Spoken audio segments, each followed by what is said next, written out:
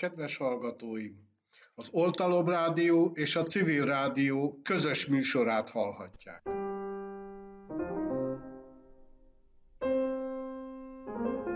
Olvassunk és főzzünk! Önök az Oltalom Rádió műsorát hallgatják.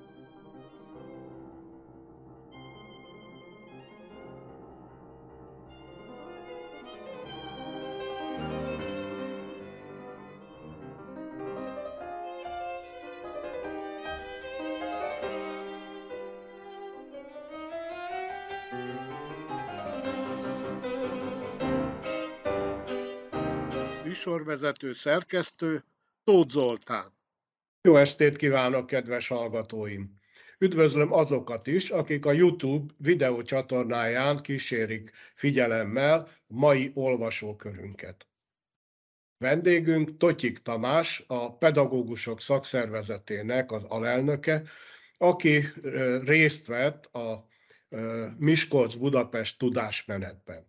Azonban híven korábbi hagyományunkhoz. Elsőként Totyik Tamást a privát viszonyairól fogom kérdezni. Jó napot kívánok! Jó napot kívánok minden kedves rádióhallgatónak és önnek is. Kedves Totyik Tamás! Ön egy szakszervezet vezető tisztségviselője. Hogyan jutott el a szakszervezeti mozgalomhoz? Tudna nekünk esetleg egy rövid életrajzot mondani? Hát én Miskolcon születtem, és egy első generációs értelmiségi gyermek vagyok. Szüleim a gyáristák voltak, ugye a Diózsőri, ahogy ott helyben mondták, a Diózsőri gépgyárban és a kohászati művekben dolgoztak. És a ma már legendás Herman Otto gimnáziumba érettségiztem 1983-ba. Onnan kerültem Nyíregyházára, a tanárképző főiskolára, Közben tájfutóként sportoltam, minden is ered egyébként a, a teljesítménytúrák utáni vágyam, illetve hát a szokásaim, csak egy súlyos sérülés a további pályafutásomban megakadályozott.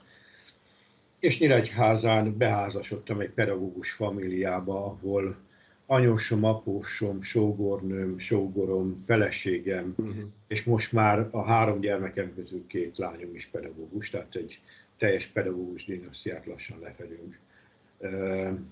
A feleségem, és a, bocsánat, először is a Nyíregyházán, miután végeztem, én Nagyhegyesre kerültem, ez egy hajdúszoboszló melletti uh-huh. kis település, egy nagyon jó módú és nagyon komoly önerővel rendelkező település volt, és az oktatásért rendkívül sokat áldozott. Én, én mindig nagy tisztelettel eh, beszélek eh, róluk, mert ők nagyon sokat segítettek abba is, hogy eh, a pedagógus pályám egyenletesítve fejlődjön, és azt is megtapasztaltam, hogy a helyi közösségnek milyen fontos szerepe van. És az Esetleg egy-két tanár tudna nevesíteni, akik befolyásolták a pályafutását?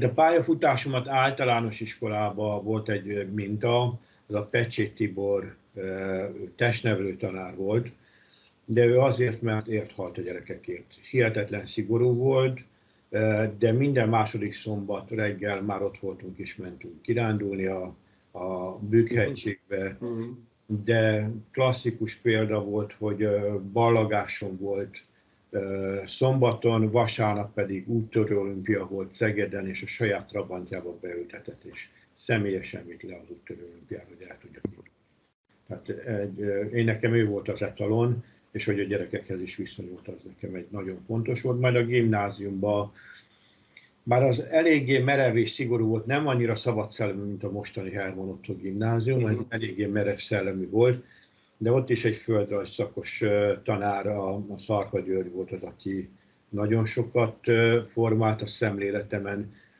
és nagyon érdekes, hogy főiskolán volt egy Erdélyből áttelepült etika, filmesztétikát tanító Varga Károly nevű úriember, ő volt, aki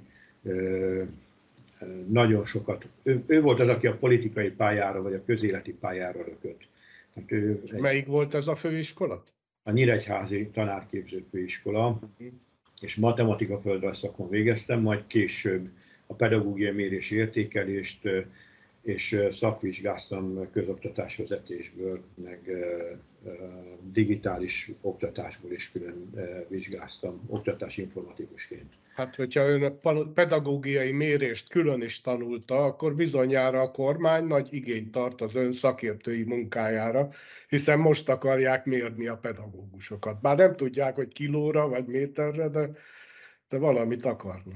Hát a legsúlyosabb probléma az, hogy amit ők mérni szeretnének, azon nincsenek tisztában, hogy azok nem mérhetők. A hozzáadott pedagógiai érték az csak úgy mérhető, hogyha a családi hátteret mérjük a gyerekeknek, és ehhez kapcsolódóan azokat a teljesítményeket külön-külön el kell különíteni. Egy folyamatos mérésnek kell lenni, egy bemeneti mérésnek, és ezeknek összekapcsolva kell lenni, de hát ezekkel a mérés elméleti kérdésekkel úgy tűnik a kormány nagyon nincs tisztában, ők csak úgy gondolják, hogy kilóra lemérjük őket, aztán majd mondunk valamit ezekről a pedagógusokról. Hogyan vezetett az UBUT a szakszervezetekig, vagy a, konkrétan a pedagógus szakszervezetig? Konkrétan, mikor a feleségemmel, a későbbi feleségemmel megismerkedtem, anyósom beléptetett a szakszervezetbe, tehát már főiskolás koromban 85-ben szakszervezeti tag lettem, és azóta folyamatosan szakszervezeti tag is vagyok. Nem különösebben törekedtem nagyon vezető szerepre. Alapszervezeti titkárként működök 95 óta, és volt egy nagyon szerencsétlen igazgatói pályázatom, ahol a tantestület 86%-kal támogatott, a szülő 98-al, az önkormányzat pedig 100%-kal támogatott, ennek ellenére nem lehet iskolaigazgató, hát a politika beleszólt vastagon, és egy Fideszes potentátot neveztek ki a uh-huh. igazgatói székre egy év késéssel, akit viszont a kollégák nagyon nem szerettek. Maradjunk ennél a diplomatikus megfogalmazásnál, és Értem. a botrány kikerekedett, akkor Galóné Piroska megkeresett, hogy nincs kedvem szakszervezeti vezetőként tovább dolgozni, mert olvasta nagyon sok tanulmányomat, és a tanulmányaim révén ő azt gondolja, hogy a szakszervezetben lett volna a helyem. Hát én elindultam, mint no ember, teljesen ismeretlenül, és úgy voltam vele, hogy hát egyáltalán több kudarc lesz majd az életemben, és nagyon nagy meglepetésemre. Szerintem abban a teremben én voltam a legjobban meglepődve, amikor megválasztottak 70%-kal a, a 106 fős küldött csoport a kongresszus. Uh-huh. Tehát ez nekem egy hihetetlen meglepetés volt, mert régi szakszervezeti motorosokat vertem meg. Mielőtt rátérnénk konkrétan a pedagógus szakszervezet történetére, azonban egy fontos kérdés, hogy milyen dolgokat kutatott, milyen dolgozatokat írt? Két, két nagy csoportra lehet bontani. Egyszer az, hogy milyen közoktatási reformokra van szükség. Volt egy indulatos röpirat a magyar a közoktatásért, ez volt az egyik alapvető írásom, és a digitális kultúrával kapcsolatban volt több. Elsősorban a, az alfa és Z generációnak a kulturális viselkedését és, ö, próbáltam elemezni, illetve az, hogy az új nemzedék számára milyen oktatás kell, amivel sikeresek lehetnénk. Ezek a dolgozatok hozzáférhetők az interneten, vagy Igen, hozzáférhetők. A jelentős része a Le Monde Diplomatiknak a magyar kiadásában a magyar diplomban jelentek meg. Ott segítették ezeket a publikációkat nyilvánosságra hozni.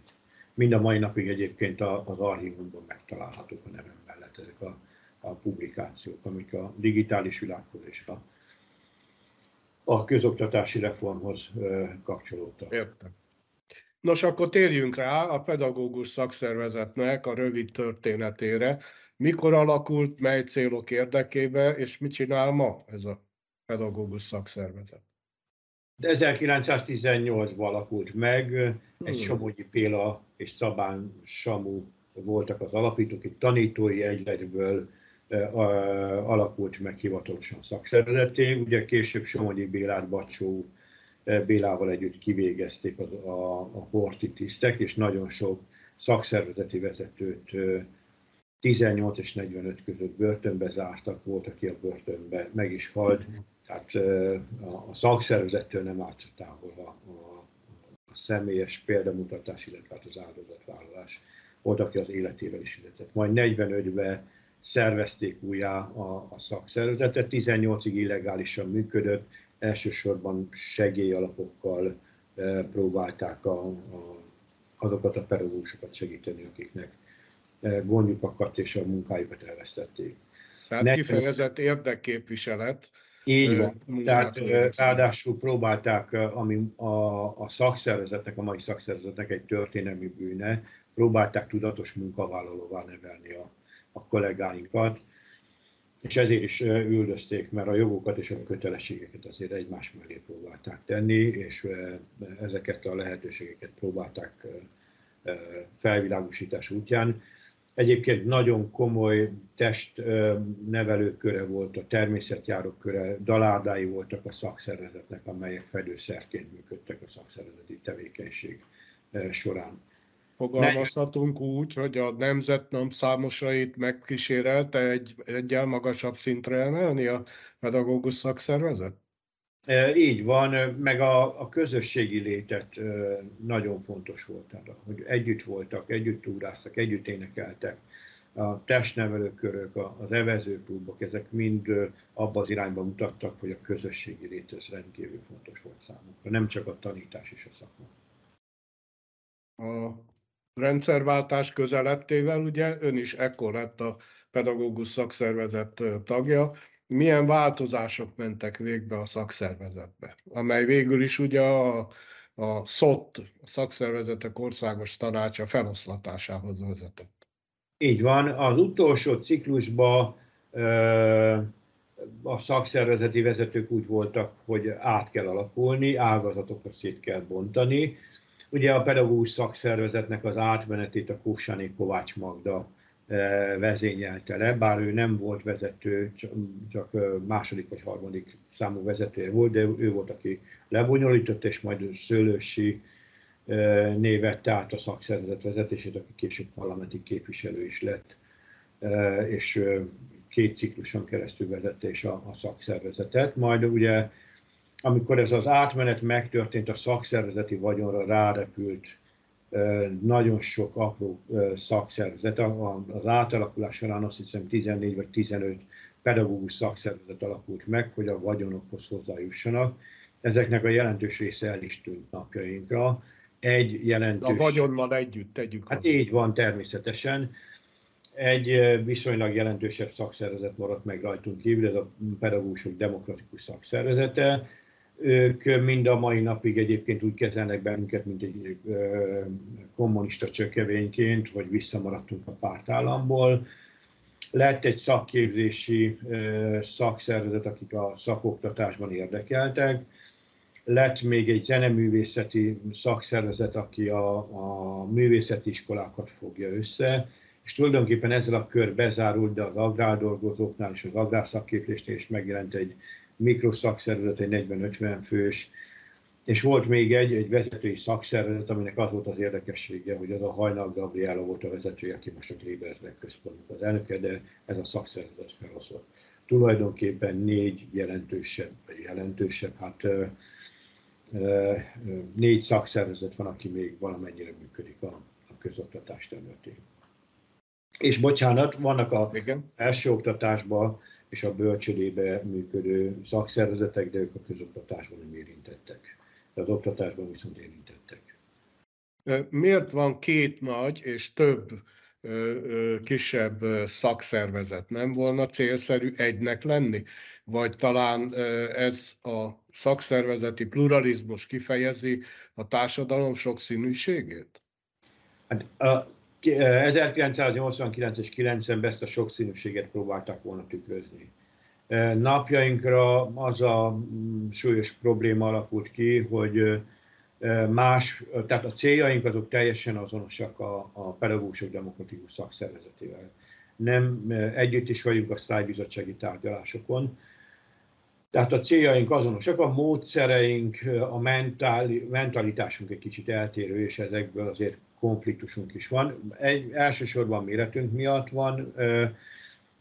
Ugye nekünk egy 16 ezeres tagságunk van, és ezt egy jóval nehezebb működtetni, ráadásul nekünk vidékről adja a tagságunknak a gerincét, mm. és egy vidéki pedagógus azért sokkal másképp gondolkodik, mint egy fővárosi.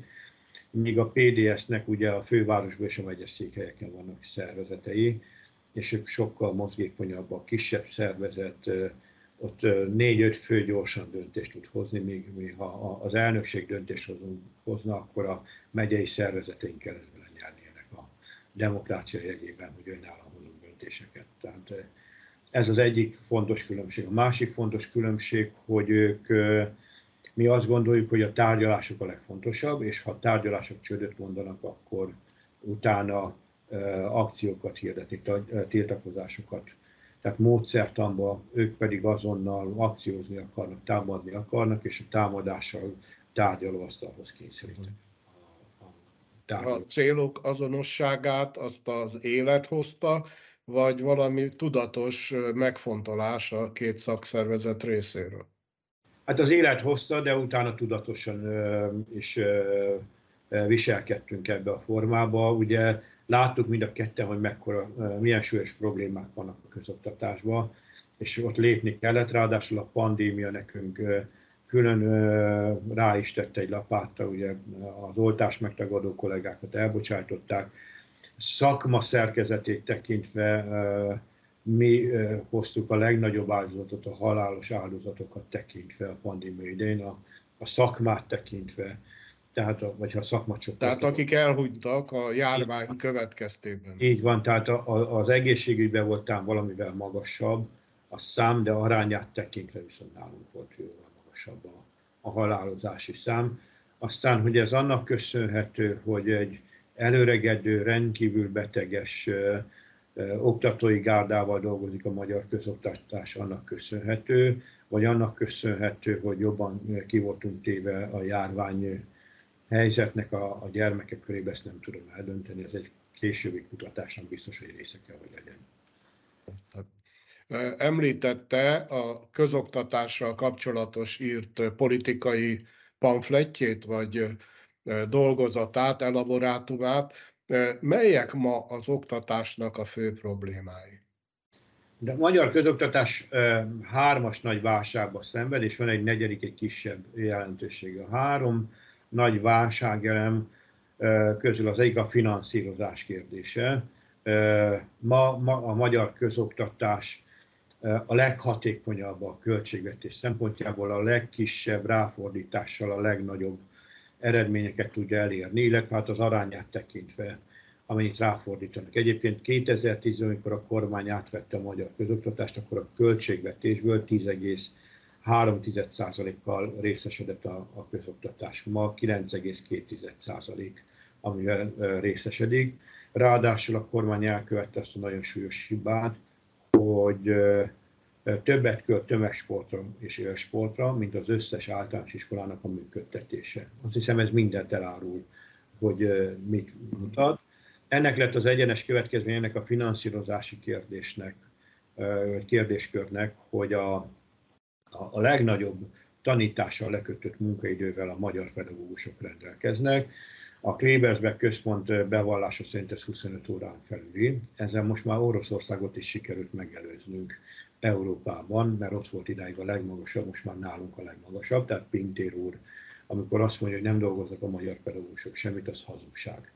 És ugye úgy próbálja beállítani, hogy a 25 órát dolgoznak, és akkor hát 40 órás a munkahét, de hát arra a tanítási órákra fel kell készülni, dolgozatot kell javítani, a gyerekeket színházba visszük, kulturális rendezvényekre, iskolai rendezvényben és a szülőkkel való kapcsolattartáson nem is beszélve. Tehát mi végeztünk egy kutatást 2019-ben, ahol kiderült, hogy 52 órát dolgoznak egy héten átlagban a pedagógusok.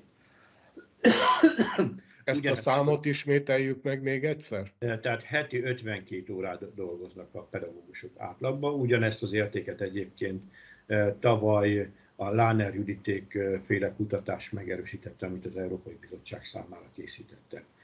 Tehát ez egy nagyon hihetetlen drasztikus érték, de maradjunk csak a tanítással lekötött munkaidőnél. Én most a plusz munkákkal nem akarok külön akadémikus Már ilyen nyári tábor, meg ilyenek?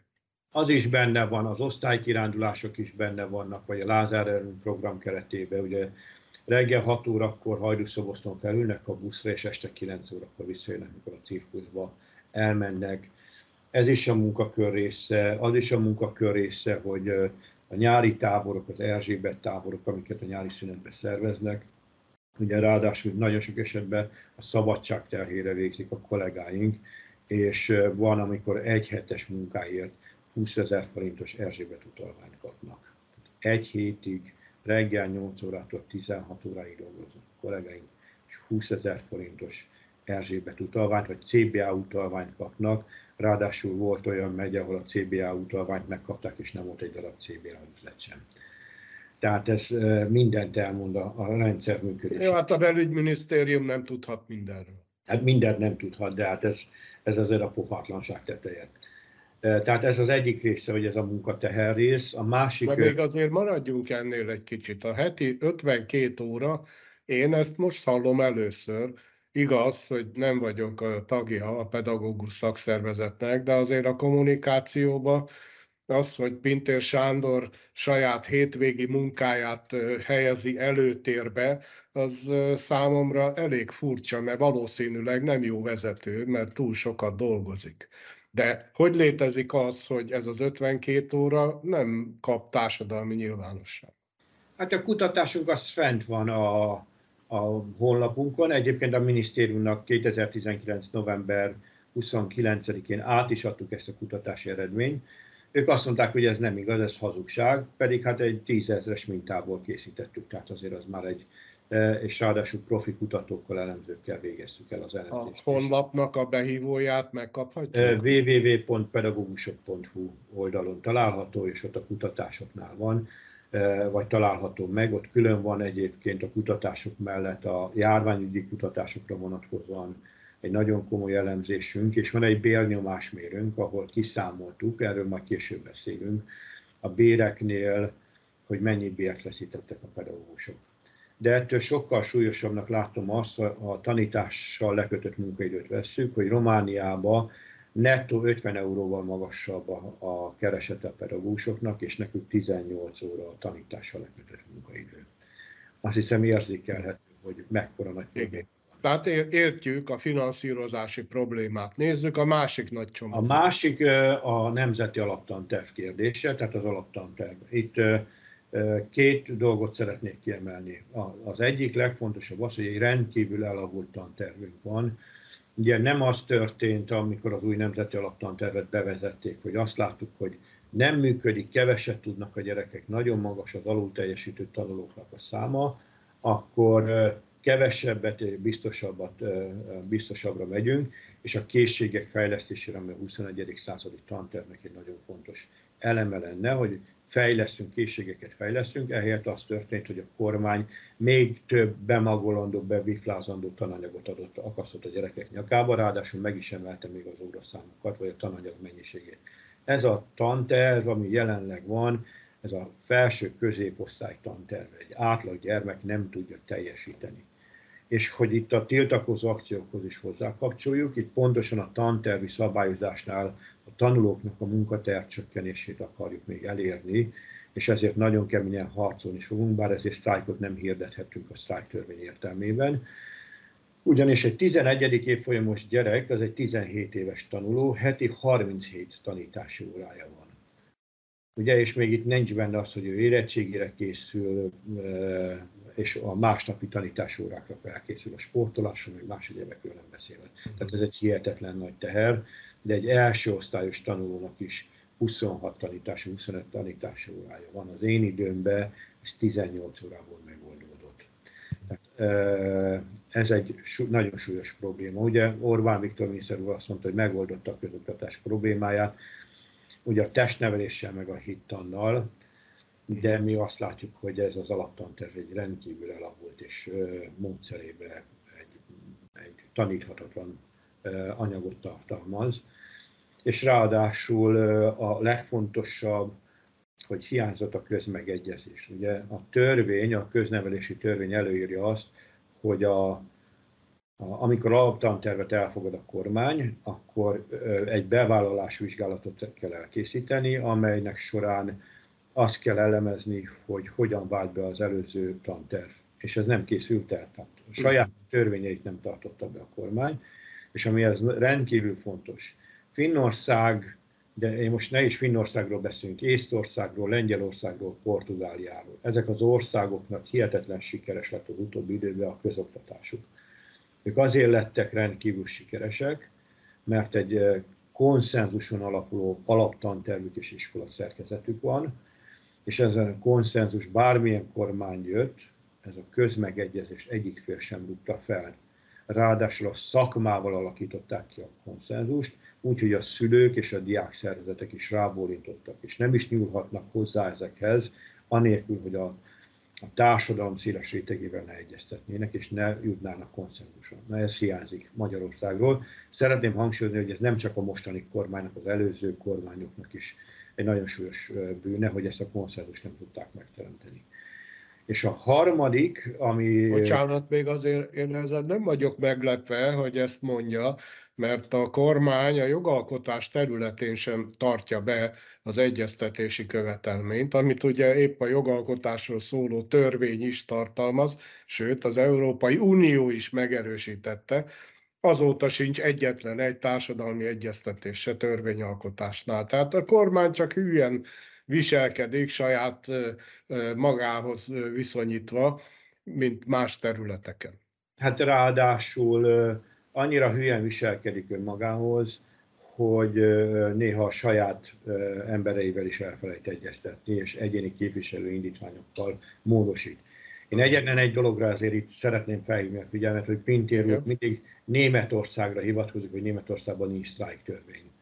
És szeretném, ha Pintér úr a németországi törvényt behozná a szakszervezetek elé, és a németországi törvény alapján egy megállapodást tudnánk kötni. Ugyanis abban a törvényben az szerepel, hogy egyetlen egy közoktatást érintő törvényt nem lehet a parlament elé vinni, amelyel a szakszervezetekkel nem született megállapodás, és attól nem lehet eltérni. Uh-huh. És ezért cserébe lemondtak a szakszervezetek a sztrájkjogból. Akkor sztrájkolhatnak, ha ezt a megállapodást felrúgja a kormány. Uh-huh. Ha ezt a megállapodást Pintér úr idehozza elénk, holnap alá is írjuk, és meg is állapodunk velük, tehát ez, ez azért hozzátartozik ehhez a, a folyamathoz, de hát gondolom ők csak részinformációkkal manipulálják a társadalmat. Nézzük akkor a harmadik csomagot. A harmadik, ez szorosan kapcsolódik egyébként a Nemzeti Alaptantervhez. Ugye előbb beszéltem arról, hogy ez a felső középosztály részére készült, és az átlag nem tudja teljesíteni. Ez az esélyegyenlőség kérdése. Ennek két fontos elemét szeretném kiemelni. Az egyik fontos eleme az, hogy nagyon magas az alul teljesítő tanulóknak a száma. Ez azt jelenti, hogy a nemzetközi mérésekben minden negyedik gyermekünk funkcionálisan analfabéta.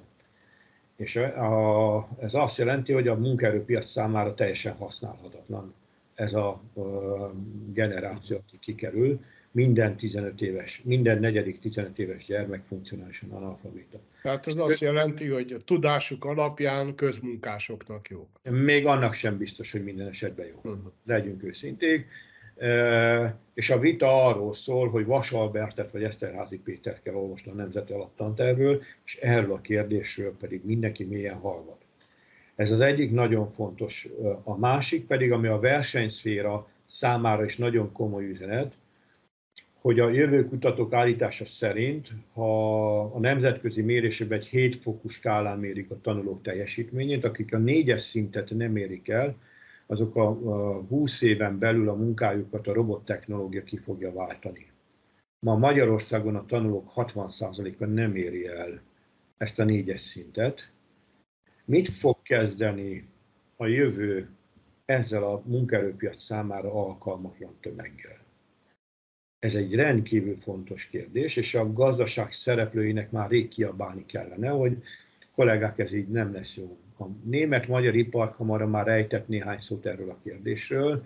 hogy ez az állapot nem fenntartható, és az Európai Bizottság is ugye a javaslatai között azért emelte be kivételes lehetőségként a pedagógusok bérének emelését, mert ők is a, a, az ország jelentésben megfogalmazták, hogy a gazdaság célkitűzései és az oktatás állapota nincs szinkronba, és ahogy ezt szinkronba tudják hozni, jelentős pluszforrásokat biztosítanak az oktatás számára. Tehát ez egy nagyon fontos lépés volt. Bár a kormány van egy gyanúm, hogy ezzel a teljesítményértékelési rendszerrel lesz el akarja is másolni, vagy valamilyen más irányba eltolni, de ne legyen igaz, ami súlyosan tévedjek. Ez az egyik. És az esélyegyenlőség kérdésénél a, a, a nagyon fontos kérdés az, hogy a gyermekek születésének pillanatában 60%-ába eldől egy gyermeknek a sorsa, a jövője. És ez, ez az érték, ez hihetetlen magas, ez egy latin-amerikai értékkel azonos. És ebbe e, nagyon komoly lépésekre van szükség ahhoz, hogy itt ki tudjunk törni. És ezeket a gyerekeket alkalmassá lehetne tenni a munkaerőpiac számára, csak megfelelő erőforrásokat kellene biztosítani ehhez, hogy ez menjen mert pedagógiai asszisztensek nélkül, gyógypedagógiai asszisztensek nélkül, szociális munkások nélkül ez nem fog menni, ez pedig már visszakapcsolódik majd a költségvetés kérdéséhez, és ezeket a gyerekeket teljesen magukra hagyjuk. Ma minden harmadik kis települési iskola, tehát ez a városokon kívüli iskolákat kell érteni, azok a szegregáció állapotában mennek, tehát azt jelenti, hogy 30% felett vagy cigánytanulók vannak, vagy halmozottan hátrányos helyzetű tanulók vannak. És itt vannak a legsúlyosabb problémák, és a kormány ezekről nem akar tudomást venni.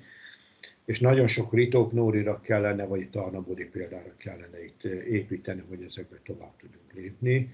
De a kormány úgy gondolja, hogy majd a vidéki kisiskolákat bezárja, mert már nincs munkaerőforrás, és a bezárt iskolák a cigány tanulókat majd a többség iskolába be fogja vinni, de ezért súlyos állat fogunk fizetni, mert ebből vagy újabb etnikai konfliktusok lesznek, vagy további elvándorlások fognak megindulni, és újabb szegregált iskolák fognak kialakulni. Tehát ez a kör tulajdonképpen a közoktatásnak a legsősabb része, és ebből a kormány csak a bérkérdést akarja úgy kezelni, és úgy próbálni beállítani, hogy a tiltakozásoknak ez a része. Holott ezeket mind felszínre kellene hozni, és ami nagyon fontos, a szakszervezetünk kezdeményezte azt is, hogy egy nemzeti kerekasztal jöjjön létre, egy oktatási kerekasztal, ahol a párbeszéd meginduljon, hogy ezekre a kérdésekre milyen választ lehet adni, és a kormány ehhez milyen erőforrásokat tud az Európai Bizottságon keresztül és a saját forrásain keresztül biztosítani, mert ezért nagyon nagy árat fog fizetni a magyar társadalom, ha nem fogunk lépni. Arról nem is beszélve, hogy mekkora pedagógus hiány, ugye 16 ezer pedagógus hiányzik jelenleg, a következő 5 évben pedig 22 ezerrel többen fognak nyugdíjba menni, mint amennyien várhatóan pályára állnak. Uh-huh. Ennek az lett a következménye, hogy ma minden ötödik általános iskolába képesítés nélküli pedagógus tanít, ez a 80-as évek elején volt azonos arányú, és minden harmadik általános iskolában olyan pedagógus dolgozik, aki nem a szakjának megfelelő tantárgyat tanítja. Uh-huh. Egy hihetetlen nagy katasztrófa van most a, a közoktatásban, az épületek állapotáról nem is beszélve, és helyzetéről nem is beszélve. Térjünk át akkor, és e, az elhangzottak már szinte megalapozzák a Miskolc-Budapest tudásmenetet. Kinek jutott eszébe egy ilyen tudásmenet szervezése? Bár történelmi előképként megemlíthetjük az éjségmenetet, amely szintén Miskolc-Budapest relációban valósult meg? Hát a, a tettes én vagyok a bűnös. Egy szombathelyi tiltakozás alkalmával a, a Molnár Áronnal találkoztunk, és vele beszéltük meg, illetve hát én javasoltam, hogy mit szólnátok, hogyha kopiznánk, másolnánk a, az éjségmenetet a tudásmenetéhez, és a lámpást elvinnénk a vidéki iskolákhoz és a vidéki pedagógusokhoz egy kis fényt, és beszélgetnénk a kollégákkal menet közben is, amikor hozzánk csatlakoznak, vagy amikor a menet véget ért, akkor az adott településeken mindig egy-egy találkozót szerveznénk, és akkor ott a, a találkozón meghallgatnánk őket, hogy ők hogy látják, hogy a szakszervezeteknek milyen bűnei vannak, mit kellene tenni azért, hogy az ő helyzetük jelentősen javuljon, illetve hát mit kellene pluszba követelni azért, hogy egy jobb közoktatás legyen Magyarországon. Honnét, mikor és honnét indult, hova érkeztek? Melyek voltak a megállóhelyek? Január másodikán indultunk Miskolcról a Herman Otto gimnáziumtól, és minden nap egyébként fél nyolckor indultunk, és minden nap egy-egy iskolához érkeztünk, és a másnapi iskolákhoz mentünk. És jelképes volt az indulási hely kiválasztása, hisz a Herman Otto gimnázium igazgató helyettese volt az első olyan áldozat, aki a, az erőszakkal történő rendrakásnak az első áldozata volt. Ugye őt az igazgatói helyettesi feladatok alól felmentették, és a Budapesti Kölcsei Gimnáziumig mentünk hat napon keresztül, ott pedig ugye az első komolyabb kirúgási hullámnak az áldozatai voltak, tehát ez egy jelképes üzenet volt. Els, minden alkalommal nagyjából 30 km volt a napi átlag teljesítmény a hármas autó út mentén, illetve hát ez változó volt, mert volt, amikor 23 volt, volt, amikor meg 38 km volt, de átlagban 30 km tettünk meg. Ezt értjük, ezt a távolságot, mert ön táv, tájékozódási futó volt, jól nevezem ezt a sportágat? Igen, igen. De hogy bírták a többiek ezt a 20-30, majdnem 40 kilométert? Hát nagyon változóan. A két szakszervezeti vezetőtársam, ugye a Gosszanyi Gábor, aki alelnök szintén a pedagógusok szakszervezetéből, neki a sarkáról lement teljesen a bőr. A PDS képviseletében pedig Szűcs Tamásnak a, ugye a térde rosszul lépett, és a térde eléggé kificamodott, és a bokáját is megviselte, de én nem is hittem el egyébként, a harmadik nap után nem hittem el, hogy végig fogják csinálni, és fogat összeszorítva végig csinálták. Mm. Nagyon megszenvedtek, most orvoshoz is járnak, tehát ők komoly áldozat is, is hoztak. És volt két civil, aki csatlakozott hozzánk, egy Megyasszai Sándor, aki egy civil aktivista, ő a Tanítanék mozgalmon keresztül jött, ő remekül bírta a tempót diktált, és a táblát is vitte elől, tehát le a kalappal, és a legnagyobb Kovács Balázs nyugdíjas, ő egy, egyébként egy mérnök ember, és ő, ő azt csinálta, hogy minden nap reggel az indulási helyhez érkezett, és este visszament haza Miskolcra, mert a kutyáját meg kellett etetni, meg le kellett vinni sétálni, és a következő nap reggel pedig jött. Tehát eszméletlen teljesítményt nyújtott. És amit nagyon szeretnék hangsúlyozni, nem csak tudásmenet lett ez a, az egész, hanem egy szeretetmenet lett. Mert ami szeretetet kaptunk az emberektől, az, az leírhatatlan. Nagyon sokszor bevallom férfiasan én is könnyet meghatudtam a, az emberektől, amit kaptunk, hihetetlen volt.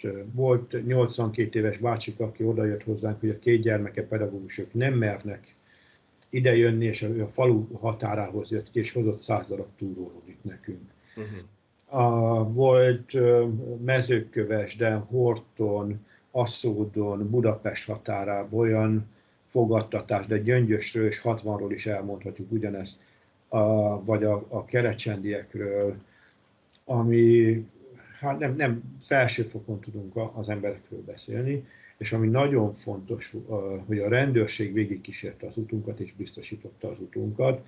Uh-huh. Elő és hátul mindig volt egy-egy rendőrautó, és hihetetlen segítőek támogattak voltak. Tehát nem az volt, hogy kaptak egy feladatot és kipipálták, hanem mindenbe segítségünkre voltak, könnyítettek, amint csak lehetett, rendkívül együttműködőek voltak. Aztán kiderült, hogy van köztük olyan, aki pedagógus volt, vagy a felesége pedagógus, tehát át is érezték, hihetetlen támogatóak voltak, és a rendőrkapitányok is ezt hozzá szeretném tenni, tehát Pintér úrnak a beosztottjaitól lehetne empátiából mit tanulni.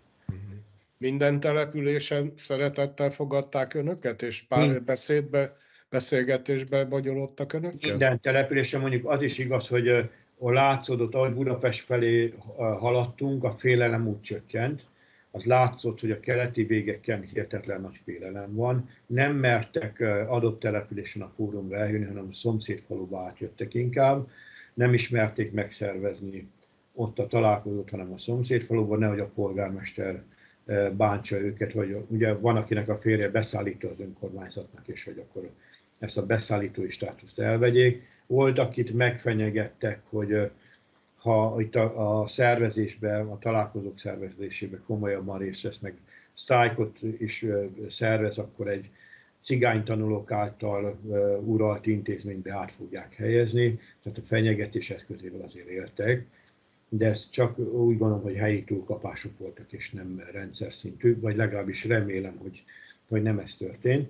Viszont nagyon komoly tanulságokat a találkozókból minden helyen, ugye ez Tiboldarócon, Egerbe, Gyöngyösön, 60-on és Gödöllön is szembesültünk, hogy a tudatos munkavállalóval való nevelés azt a szakszervezete elfelejtette megtanítani a munkavállalóknak, de úgy tűnik, hogy nem csak a pedagógus szakszervezet, hanem az összes szakszervezet, és ezt meg kell oldanunk, mert látszik az, hogy olyan munkaszerződéseket, kinevezéseket írnak alá, ami rendkívül hátrányos a munkavállaló számára, és nem is szabadna aláírni. Hát mint a 20-as években, 1920-as években Magyarországon öntudatra kell ébreszteni a pedagógusokat? Így van, és ráadásul arra, hogy egy önpusztító életformával fel kell hagyni.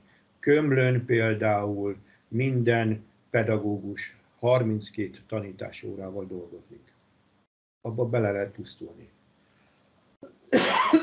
Tehát az egy, az egy mentálisan és fizikálisan is egy hihetetlen megterhelő munka. Ezt nem szabad vállalni. De láttuk azt is, hogy a a munkaszerződésében vagy a munkaköri leírásukban azt szerepel, hogy minden, amivel az intézményvezető megbízza a pedagógust. Uh-huh. Ez azt jelenti, hogy WC takarításra is beosztható a pedagógus. És, volt, és be is osztják.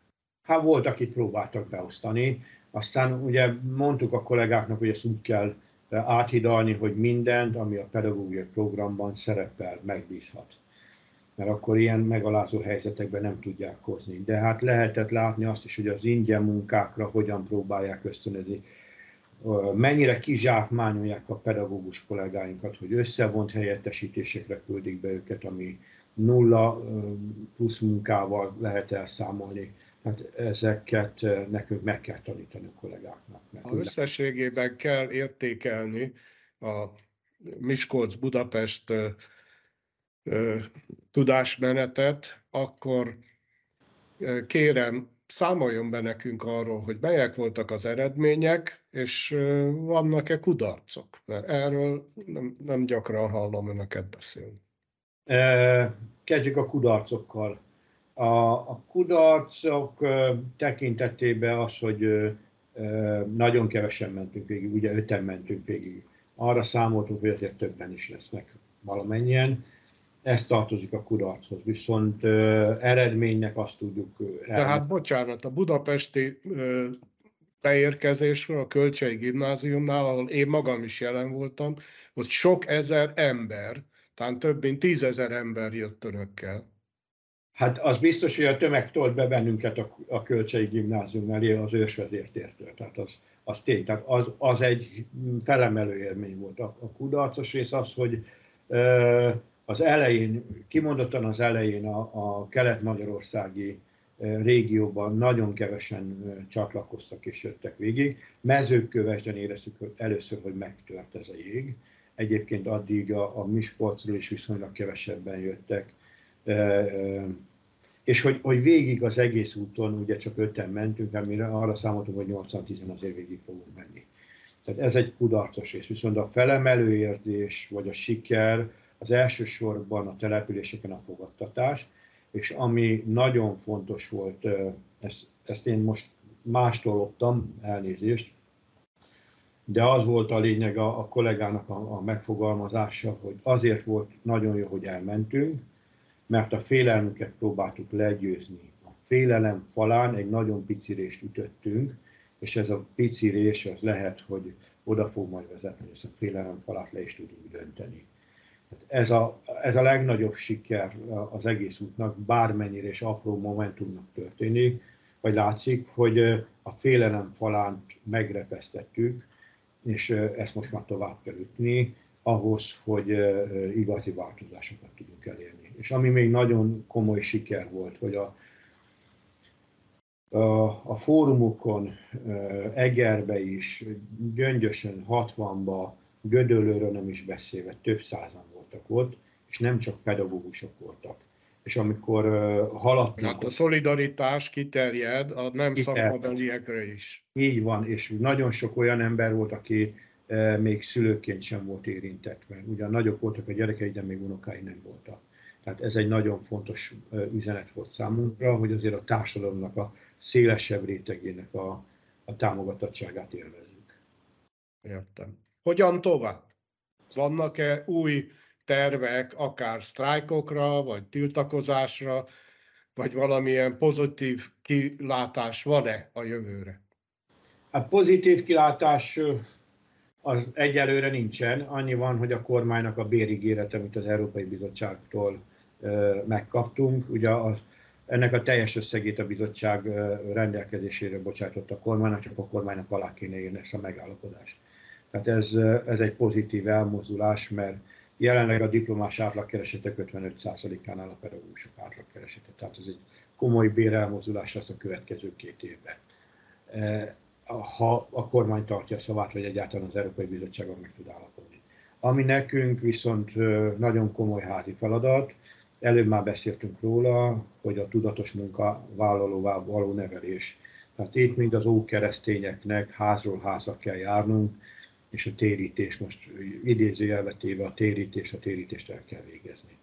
Ez biztos, hogy nagyon komoly erőforrás fog igényelni tőlünk, mert ez másképp nem megy, és ha tudatossá válnak a munkavállalók, akkor vidéken is komolyabb ellenállásra lehet majd számítani, de nekünk most az a lényeg, hogy a munkavállalói érdekekbe komolyabb elmozdulást tudunk elérni.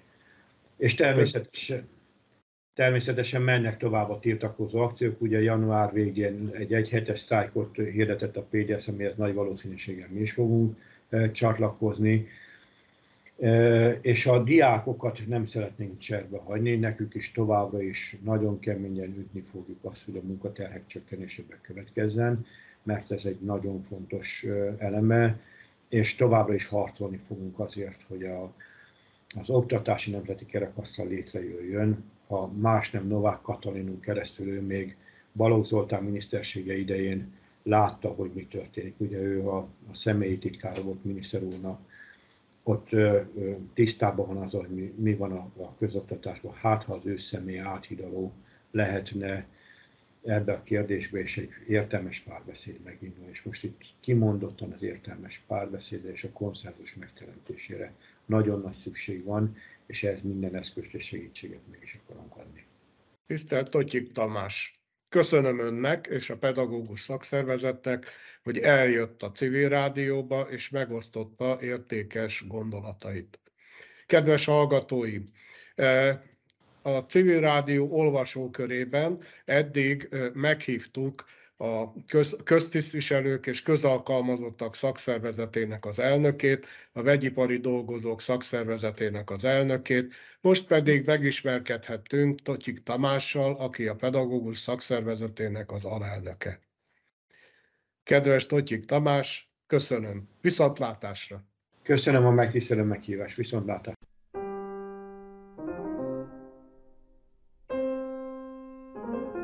olvassunk és főzzünk. Műsorvezető szerkesztő Tóth Zoltán.